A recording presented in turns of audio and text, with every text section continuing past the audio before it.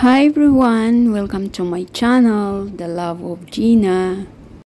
Muli, samahan ninyo ako sa part 2 ng aking content na Singapore Botanic Gardens na kung saan tapos na yung aming pagpapahinga at patuloy ang aming paglalakbay upang marating ang Gallop Extension. So ayun, yung tulay na aming lalakarin. Mahaba po yan. So makikita ninyo mamaya sa aming pag-akyat patungo dyan sa Gallop Extension na yan na tinatawag na Canopy Link. Yung time na paglalakad namin dyan ay sobrang init na. Pero pagkatapos sa tulay na yan, ay lalakad na kami patungo sa malilim na lugar kung saan puro puno na yung madadaanan. So ayan ang HPL Canopy Link. Aakyat po tayo dyan. So samahan ninyo kami sa aming paglalakbay muli sa part 2 ng aking content. Ang oras ng Singapore nung time na nilakbay namin yan ay 1.40 p.m.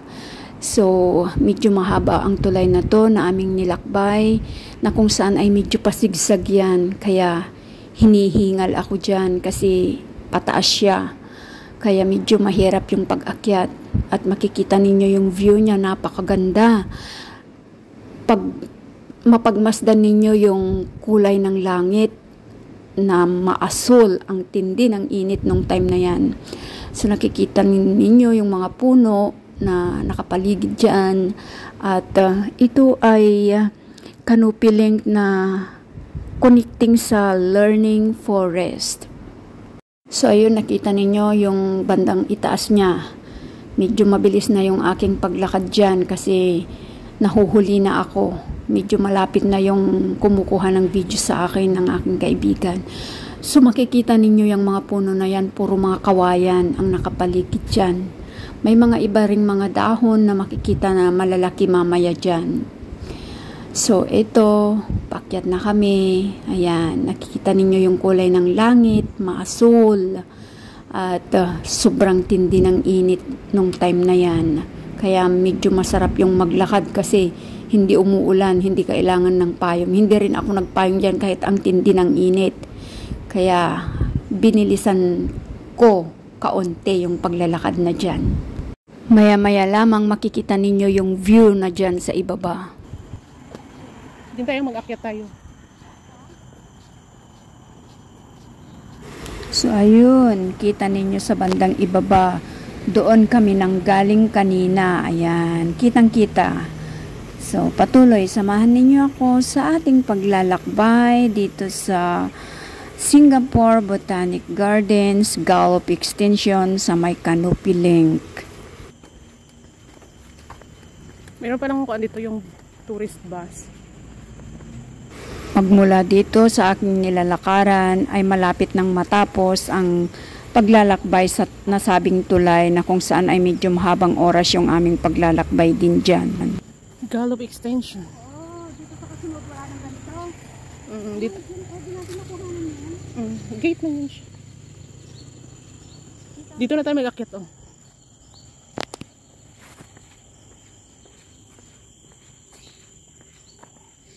HPL Canopy Link.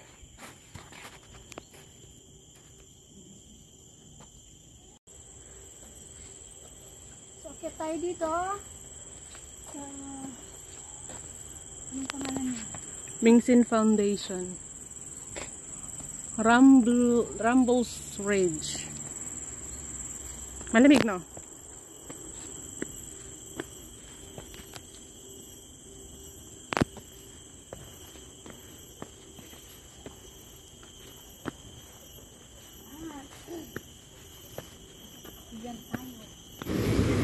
So mula dito sa video na to ay binilisan ko na medyo fast forward ang ginawa ko kasi medyo mahabang oras po yung aming tinahak na paglalakbay sa kalagitnaan ng kabundokang ito. Ayan, nagpipicture-picture ako.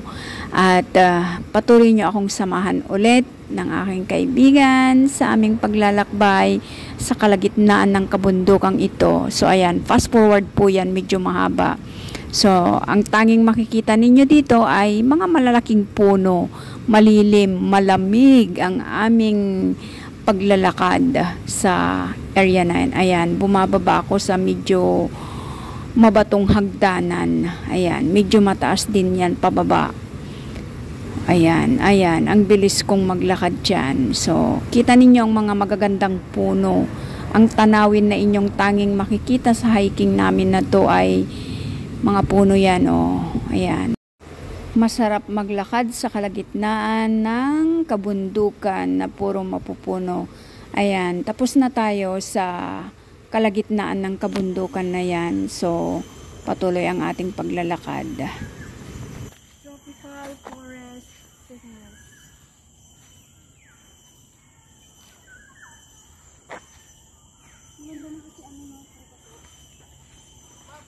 Siya, no? Mm. Ito talagang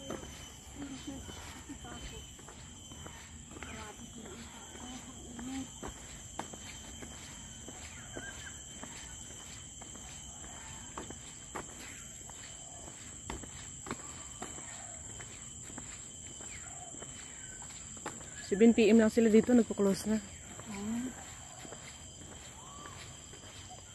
Ayan na yung ba? Mm-mm.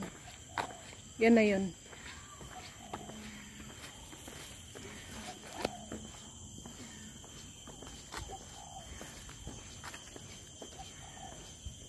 Baba yan yung laruan ng mga bata.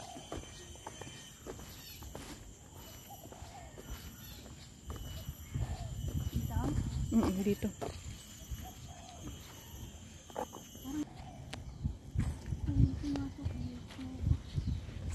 Ginagawang ko dito eh, may pipictorial dito eh. Dito? Halika, pasok tayo dun.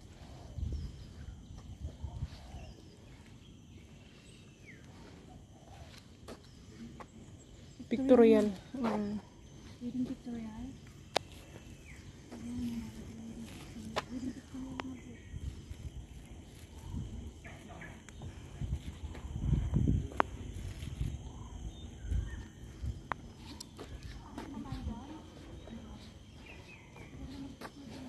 Discovery Center.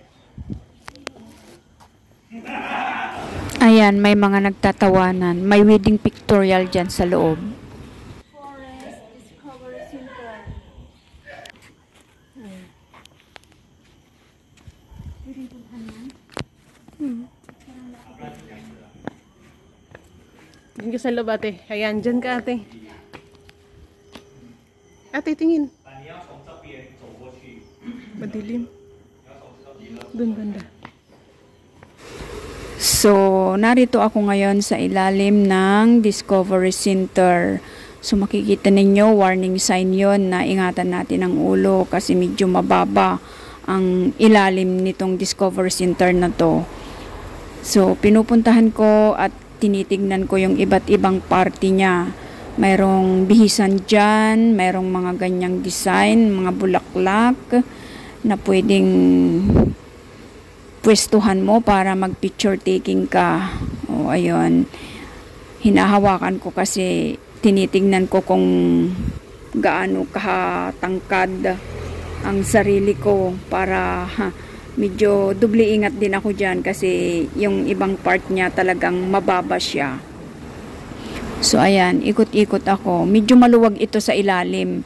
Kaya sa nakikita ninyo, fast forward ulit ang ginawa ko dito kasi medyo mahaba yung video. Ayan, may mga tanim na nasa parang stagnant water na yan eh, kaya may mga warning signs din yon. So ayan, medyo maluwag yung kapaligiran at makikita ninyo napakaganda yung parang terrace niya kasi makikita mo yung palibot na talagang nakaka akit, nakakainganyo, nakaka-relax para sa sarili mo kapag ikaw ay sinubukang umikot-ikot sa lugar na yan. So, ayan, medyo slow motion ako dyan. Picture taking uli ang ginawa ko dyan. So, tapos na kami, pababa kami sa hagdanan na yan, patungo sa playground ng mga bata na kung saan ay tinatawag na Komodo Dragon Playground yata yan. Medyo mataas din tong hagdanan na aking binababaan bago marating yung playground na tinatawag na Komodo Dragon para sa mga bata lang ito. At ang Komodo Dragon na yan ay gawa sa purong bato. Napakaganda. Inyong matutunghayan maya-maya lamang at malapit ko nang marating yan. Ayun, natatanaw na natin ang Komodo Dragon na yan. So, samahan ninyo ako at aking ipapakita sa inyo. So, yan yung kabuuan ng Komodo Dragon Playground. Maya-maya lamang din po sa bandang likuran niyan ay inyong makikita. So, aakyatin ko lang muna. At uh, medyo masakit yung paa dyan kasi medyo matutulis yung bata, bato. I mean, bato, hindi bata. So, ayan. Ayan, kita ninyo medyo mabilis ang ginawa ko ulit dyan kasi medyo mahaba rin yung pagkuha ko ng video. So, tanging para sa mga bata lamang yon. Ayan, ang Komodo Adventure. So, maraming mga nagpupuntahan din dyan sa banda. Sobrang init that time, kaya hindi kami nakatagal. So, kukuha lamang ako ng, kumuha lamang po ako dyan ng kaunting video bago sa aming pagtatapos sa lugar na yan. So, ayan, picture taking lamang po ako kasi mga souvenirs pagdating ng araw ang mga alaala na to sa mga lugar na aming pinupuntahan na kung saan ako dinadala ng aking kaibigan. So, ayan, talon ako dyan. So, yan yung kabuuan ng Komodo Dragon. Para siyang, alam nyo yung itsura niya, yung parang kamansi sa Tagalog, yung parang langka. Ayan, ang pagkakagawa ng katawan ng Komodo dragon na yan ay parang nangka, nangka, langka, parang ganon. Kamansi, yon yung matulis ang ano, balat ng isang prutas ba yan o parang gulay. So ayun, tapos na tayo at kami ay palabas na. Ito na yung exit way namin sa nakita ninyo kanina, yun ay Komodo statue. So, Komodo dragon. Ako ng Komodo dragon. statue pala yon Isang estatwa ng gawa sa bato. Sa aming paglalakbay pabalik ay ating madadaanan dito na kung saan yung pinanggalingan namin sa Ramblers Raids Mingsin Foundation Napakaganda ng kapaligiran. Ayan, natuwa ako sa mga dahon na yan, ang lalaki. Kaya aking kinuhanan muli ng larawan. Kaya aking ibinidyo yan. So, ayan, ang aming daan pabalik na sa aming pag-uwi. Mahaba din ang aming nilakad. At uh, sa aming pag-uwi ay ganun din. Medyo malayo rin ang aming nilakaran. So yan yung pinanggalingan namin na aming inakyat galing sa kalagitnaan ng kabundukan. So ayan, natuwa ako sa laki ng mga dahon. Kaya ang iyong inday ay kanyang kinuhanan ng simpleng video. Yan ang kabuuan niya. Muli ako ay nagpapasalamat sa aking kaibigan na sumama at sa mga tumatangkilik sa aking simpleng content. Isa po muling Bible verses ang aking ibabahagi sa inyo mula sa Proverbs 17:17. A friend loveth at all times, and a brother is born for adversity. Maraming salamat po muli sa inyong panonood sa aking simpleng content dito sa The Love of Gina at maraming salamat sa iyong patuloy na panonood sa aking main channel na Nilda's Life Journey. Thank you so much and God bless us all.